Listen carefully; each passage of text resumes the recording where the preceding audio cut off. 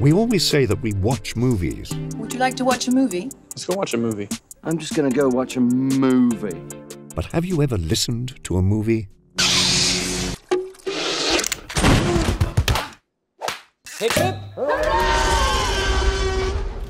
Wow. Most sound design is intended to go unnoticed, but it is often the unsung hero of filmmaking. And today we're going to look at the two main categories of sound and how they can be the secret weapon for any filmmaker. This is What is Diegetic versus Non Diegetic Sound? But before we get started, subscribe and click the bell for more filmmaking videos. Ready? In film, diegetic is derived from diegesis, which simply means the world of the film and everything in it. Everything the characters can experience within their world is diegetic. Everything that only the audience perceives is non diegetic. The concept of diegesis goes all the way back to the Greeks like Aristotle and Plato. For them, diegesis is the act of telling a story and how the narrator presents it. For films, you can think of the director as the narrator and everything they include to create a world around the characters. Some non-diegetic elements are visual. These include title cards, chyrons, or even non-diegetic inserts.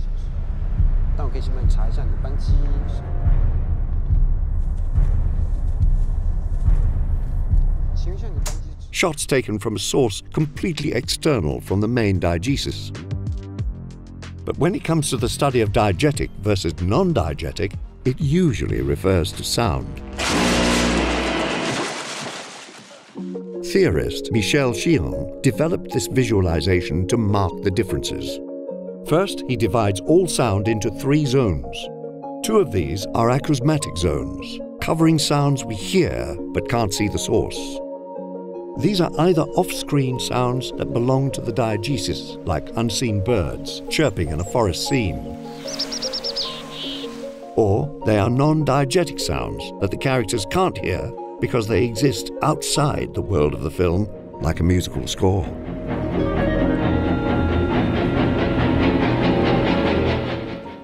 The final category covers the visualized zone, where the source of the sound is visible on screen. All sound falls into one of these categories, and some can even switch zones, as we'll see in a minute. So, let's look at some examples of each and how they work, starting with diegetic sound. Did you hear that? If the characters can hear it, it's diegetic sound. This includes atmospheric sounds like the weather, vehicles, weapons, music from inside the film, dialogue, Can you hear me? Good. and some forms of voiceover. I guess I just missed my friend. If the voiceover represents a character's thoughts, it is labeled as internal diegetic sound. So, even though no other characters can hear it, it is still part of the story world. Tallahassee had a sick sense of humor when it came to zombies. The primary role of diegetic sound is to help establish and create the world around the characters. But more than just obligatory elements, diegetic sound can have a massive impact on the overall storytelling. For example, sounds we can hear off screen can inform setting.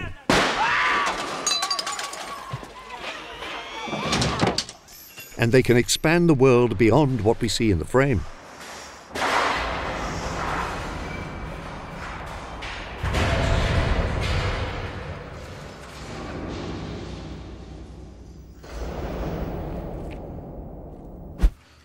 When we hear something but can't see it, that's when real suspense can be made. We often take diegetic sound for granted. We assume it will always be there and that the sounds will match our expectations. But breaking these rules can make for exciting cinema.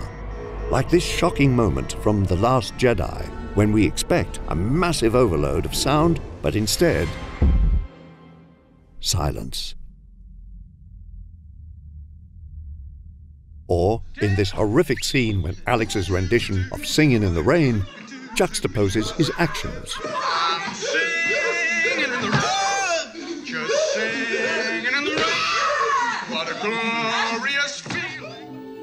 Just like a POV shot shows us what the character sees, diegetic sound can be manipulated to let us hear what they hear.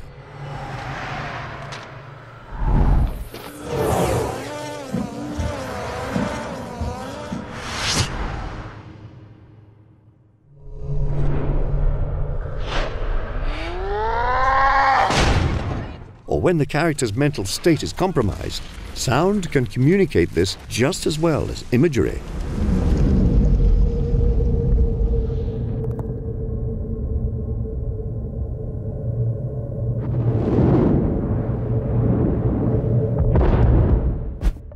Diegetic sound can easily be taken for granted by both the filmmaker and the audience.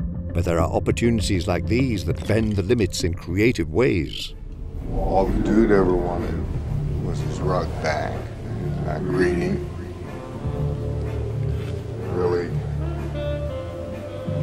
tied the room together.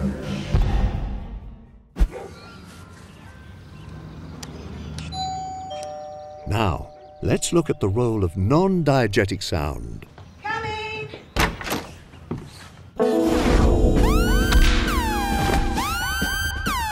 Everything the characters cannot hear is non diegetic. This includes sound effects,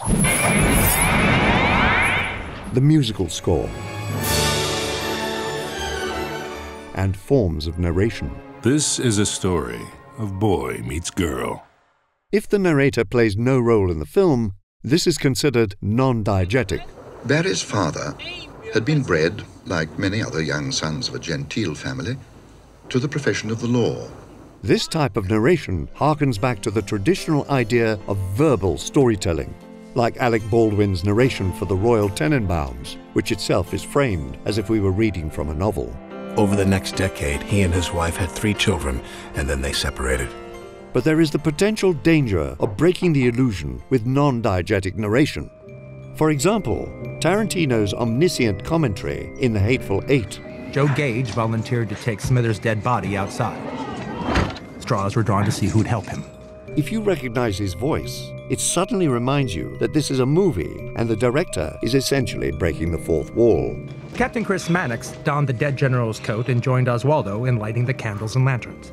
Of course, this type of interruption in the diegesis is done for creative purposes, something Tarantino does all the time. Don't be a. Beatrix Kiddo. Here.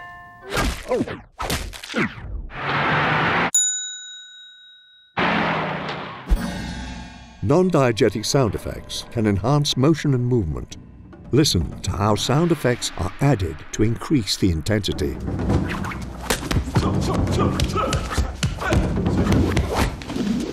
They can be used for comedy to put a punchline on a joke.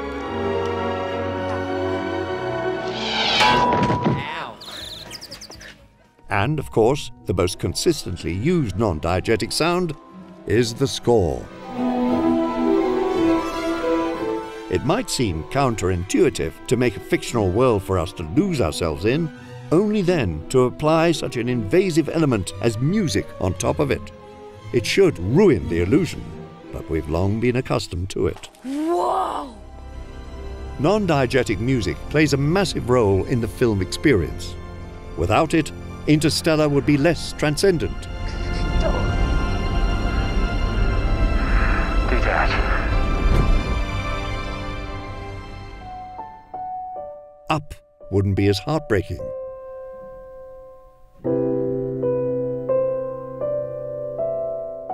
And Black Panther wouldn't feel so triumphant.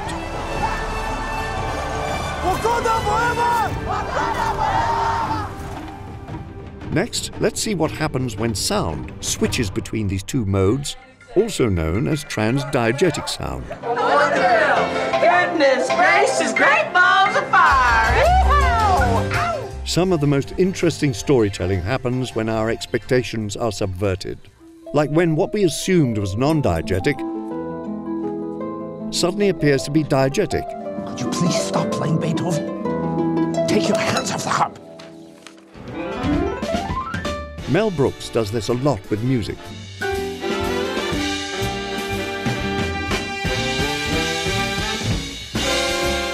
By playing with our expectations, Brooks brings a meta quality to his films that allows us to be in on the joke. We might hear non diegetic score that suddenly becomes diegetic playing on a character's radio.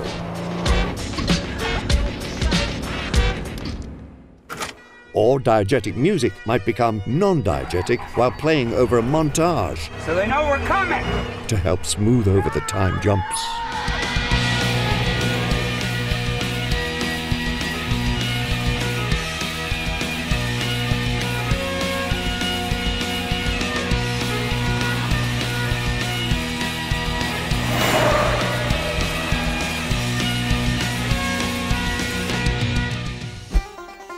This also works for sound effects.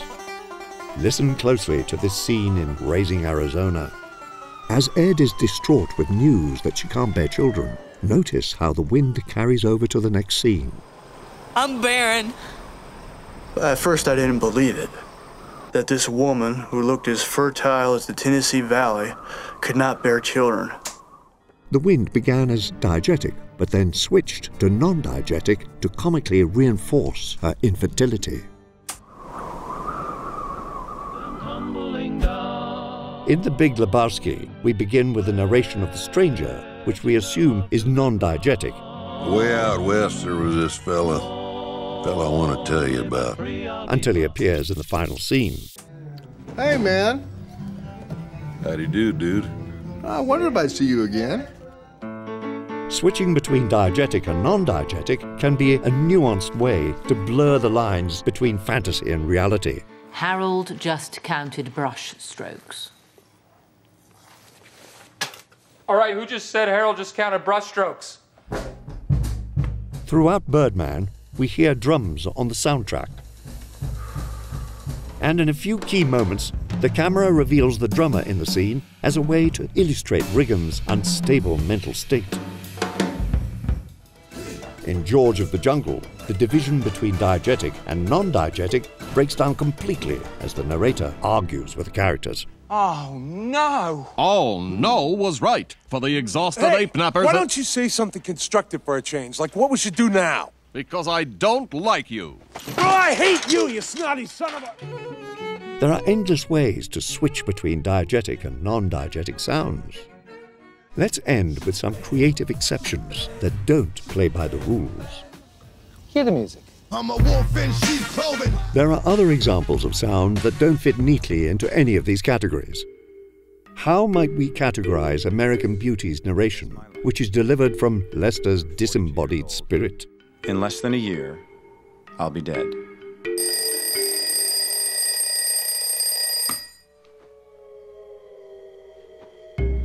Of course, I don't know that yet. As far back as I can remember, I always wanted to be a gangster. The narration in Goodfellas is constant until the last two minutes when this happens. I'd bet 20, 30 grand over a weekend, and then I'd either blow the winnings in a week or go to the Sharks to pay back the bookies. Didn't matter. Didn't mean anything. When I was broke. Now, we assume the narration was actually testimony. But because Henry seems to break through the diegesis, as if time stops in the courtroom, we're uncertain whether it really was narration, testimony, or something in between. And now it's all over. And that's the hardest part. At the end of Psycho, we hear Norman's internal monologue, speaking in his mother's voice, as a completely separate personality. They're probably watching me. Well, let them. Let them see what kind of a person I am. I'm not even going to swat that fly. I hope they are watching. They'll see.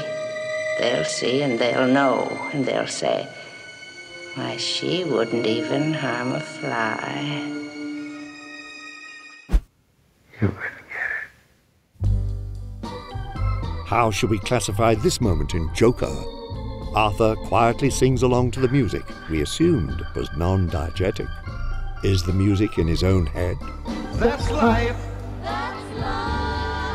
And as funny as it may seem, some people get their kicks stomping on a dream. We get a similar moment in La La Land. The external diegetic background music in the restaurant switches to internal music in her head.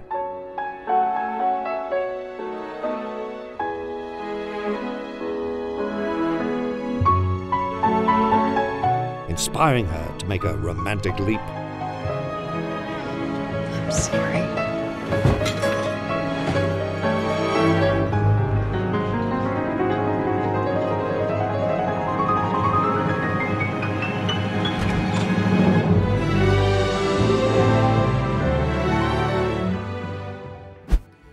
Magnolia breaks down these divisions by having the ensemble sing along to what is otherwise a non diegetic song. Not going to stop. It's not going to stop. This unique example seems to occupy both realms equally.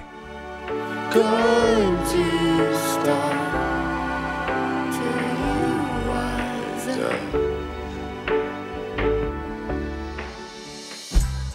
As you can see, these two types of sound can be just as useful as cinematography and editing in telling a story. Even though we typically watch movies, there's plenty of reason we should be listening to movies just as closely. What is that? For more on sound design and storytelling, you'll find links to these videos in the description. And check out StudioBinder's pre production software to give yourself every opportunity to plan how sound will play a part in your next project. This is the end. Sounds like this video is over. Time to get back to your own diegetic worlds. See you in the next one. This is the end, my only friend, the end of our.